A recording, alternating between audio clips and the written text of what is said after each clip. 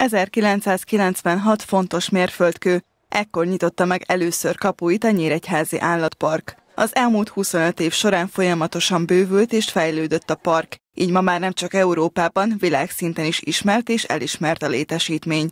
2016 tavaszán adták át az Andok kalandok sétányt, amelyhez hasonló Európában is kevés volt. Itt a fák koronái között függő hídon sétálva tekinthetjük meg Dél-Amerika és az Andok élővilágát. 2018-ban látványosan mintegy 370 millió forintból teljesen megújult a főbejárat, és létrehoztak egy látogatóközpontot. Így komfortosabbá és gyorsabbá vált a beléptetés. 2019-ben is folytatódtak a fejlesztések, egy második bejáratot nyitottak a park területére, és egy 4 km hosszú ökológiai sétautat is kialakítottak. A legutóbbi nagy átadás pedig 2021 májusában volt, ekkor az Indiaház nyitotta meg kapuit a látogatók előtt. Ide többek között teknősök, indiai rinocéroszok és kígyók is költöztek.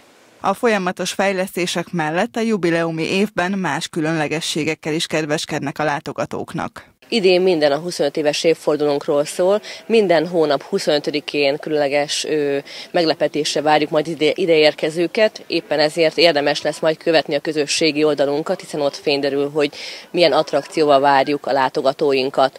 Már a főbejáratva belépve láthatják, hogy megújult a mini múzeumunk, hiszen itt 25 év történetét vettük ö, górcső alá, és igazából nagyon különleges relikviákat lehet megtekinteni az ide érkezőknek, és lesz augusztus végén egy nagyon nagy szabású születésnapi rendezvényünk, ahol sztárvendégek és koncertek is lesznek. De addig sincs megállás az állatpark életében. Pár pillanattal stábunk ott járta előtt született a legkisebb kameruni kecske a parasztudvarban, akit az első percekben még a szülei védelmeztek és tisztogattak. Ebben a karámban egyébként márciusban is születtek kiskecskék, az apróságok pedig most kistesót kaptak. A kicsi kameránk előtt próbált meg bizonytalanul talpra állni és megtenni az első lépéseit. A kecskebirkák létszáma is gyarapodott kora tavasszal, sőt, ez a kis bárány is nemrég látta meg a napvilágot. Itt a tavasz, és valljuk be, hogy ilyenkor van a lombfakadás időszaka, teljesen más 35 hektáron úgy végig sétálni, hogy minden zöld körülöttünk. Mi állatkertesek is nagyon vártuk ezt az időszakot, ráadásul a tavasz az állatbébik időszaka.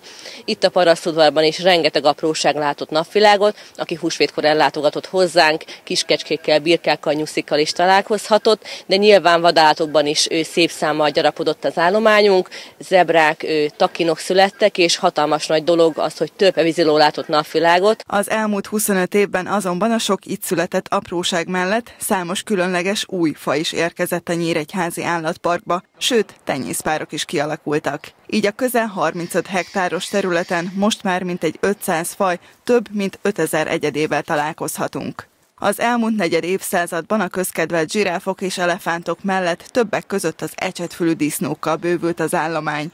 A négy hím az Európai Fajmegőrzési Program keretében érkezett, akárcsak korábban Emília a Perzsa párduc. Őt Hannoverből hozták Nyíregyházára a korábban már ide érkezett társához. Ezek a zebracápák pedig a Kanári-szigetekről költöztek ide, hogy később tenyészkolóniát alakítsanak majd ki. Igazi ritkaságnak számított a Geoffroy macska is, a tenyészpár 2020-ban nősténykölyökkel szaporodott. Ebből a fajból alig száz egyed él a világ állatkertjeiben. Új lakó volt az Angliából és Magyarországról érkezett aranykezű tamarin pár, és a kis herceg barátjaként ismert sivatagi róka, aki szintén társal érkezett 2016-ban a Nyíregyházi állatparkba.